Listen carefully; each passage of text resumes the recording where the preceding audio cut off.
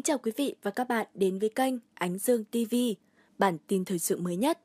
Đội tàu kiểm ngư Việt Nam có đủ sức bảo vệ ngư dân trên biển.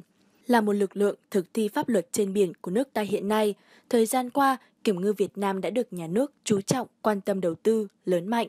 Trong đó, lực lượng đã được trang bị số lượng lớn các tàu tuần tra chấp pháp, đủ sức bao quát vùng lãnh hải rộng lớn của Tổ quốc, hỗ trợ bảo vệ ngư dân vươn khơi đánh bắt an toàn cũng như ngăn chặn tàu nước ngoài có hành vi xâm phạm chủ quyền.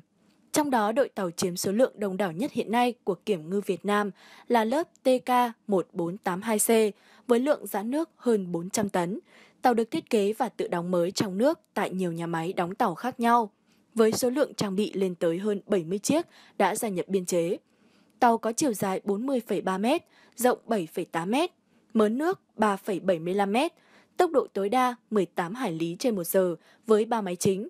Vũ trang của tàu là hai súng máy 12,7mm NSV đặt ở trên nóc cabin và hai vòi rồng công suất cao dùng để chữa cháy trên biển hoặc uy hiếp tàu tình nghi cùng hệ thống liên lạc vệ tinh, trinh sát, thông tin điện tử hiện đại, đáp ứng tốt yêu cầu kết nối thông suốt, nhận nhiệm vụ nhanh chóng, kịp thời.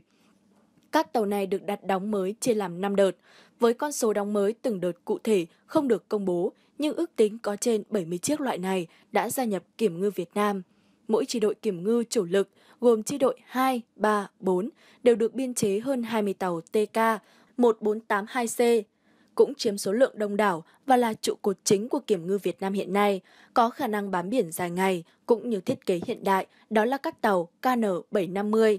Tàu cũng được đóng mới số lượng lớn tại nhiều nhà máy đóng tàu trong nước với số lượng 50 chiếc. Tàu có lượng giãn nước đầy tải 770 tấn, dài 56,2 m, rộng 8,6 m, chiều cao mạn 4,3 m, vận tốc tối đa 18 hải lý trên giờ với hai máy bay chính và một chân vịt mũi giúp tàu xoay trở nhanh chóng, dễ dàng.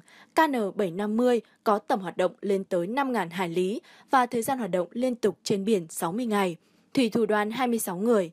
Về vũ khí trang bị, tàu có hai súng máy 12,7mm và một tháp súng máy 14,5mm điều khiển từ xa, số lượng ít tàu có, hai vòi rồng công suất lớn, hệ thống phát thanh cao tần LRAD, vũ khí phi sát thương, hệ thống liên lạc vệ tinh, camera toàn cảnh, radar hàng hải và các thiết bị cứu hộ cứu nạn tiên tiến.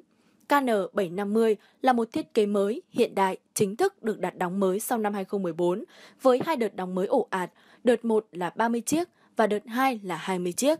Tất cả số lượng tàu này đến nay đều đã hoàn thành về bàn giao đầy đủ về cho lực lượng huấn luyện sẵn sàng chiến đấu. Mỗi chi đội kiểm ngư chủ lực của ta, bao gồm chi đội 2, 3, 4, đều được trang bị hơn 15 tàu loại này. Đây chính là lớp tàu được lên báo Sohu của Trung Quốc với nội dung mà bài trước chúng tôi đã đề cập khi nó nghi được trang bị một hệ thống sonar dò tìm. Dựa trên thiết kế KN750, Việt Nam đã nâng cấp cải tiến cho ra mắt thiết kế KN6000 và đặt đóng mới với số lượng khoảng 4 chiếc nhằm trang bị cho hai tri cục kiểm ngư số 1 và 5, mỗi tri cục hai chiếc nhằm nâng cao năng lực tuần tra, tìm kiếm cứu nạn, hỗ trợ, giúp đỡ ngư dân cũng như xua đuổi, ngăn chặn tàu nước ngoài xâm phạm vùng biển nước ta. Không thể không nhắc tới các tàu tuần tra đa năng cỡ lớn hiện đại nhất của kiểm ngư Việt Nam hiện nay, lớp KN2011. KN2011 là phiên bản nâng cấp cải tiến từ thiết kế tàu DN2000 của hãng Damen trang bị cho cảnh sát biển Việt Nam. Tàu có một số khác biệt như thiết kế ống khói, bổ sung hanga, trực thăng và thiết kế mũi tàu kiểu lưỡi dìu, đặc trưng, giúp tàu dễ sóng tốt hơn khi đi biển. Tàu có lượng giãn nước đầy tải 2.200 tấn, dài 90,5 m, rộng 14 m, với bốn máy chính cho phép nó có thể đạt vận tốc tối đa 21 hải lý trên một giờ, tầm hoạt động 5.000 hải lý và có sàn đáp cùng nhà chứa máy bay trực thăng. Tàu được thiết kế hiện đại với khả năng tự động hóa cao, thủy thủ đoàn chỉ 30 người và có thể tiếp nhận thêm 120 người. Vì là tàu của lực lượng dân sự nên KN2011 chỉ được trang bị hai vòi rồng công suất cao có khả năng phun xe 150 đến 200 mét. Hiện nay, Kiểm ngư Việt Nam đang có trong biên chế 4 tàu loại này mang số hiệu KN290, KN390, KN490 và KN491. Mỗi chi đội kiểm ngư chủ lực được trang bị một tàu làm tàu chỉ huy biên đội trừ chi đội số 4 được trang bị hai tàu là KN490 và KN491. Ngoài ra, Nhật Bản cũng đã chuyển giao cho ta một số lượng các tàu tuần tra cũ đã qua sử dụng, 4 chiếc. Các tàu này được chia về cho chi cục kiểm ngư số 1 và 5, mỗi chi cục 2 chiếc. Các tàu này đã hỗ trợ vô cùng đắc lực, nâng cao khả năng thực thi luật nghề cá của lực lượng kiểm ngư ta trên biển. Có thể nói rằng, đội tàu tuần tra, chấp pháp của lực lượng kiểm ngư Việt Nam là vô cùng lớn mạnh, hùng hậu với số lượng đông đảo, đồng bộ, hầu hết đều do Việt Nam tự thiết kế, chế tạo, đảm bảo tính năng kỹ thuật chiến cao.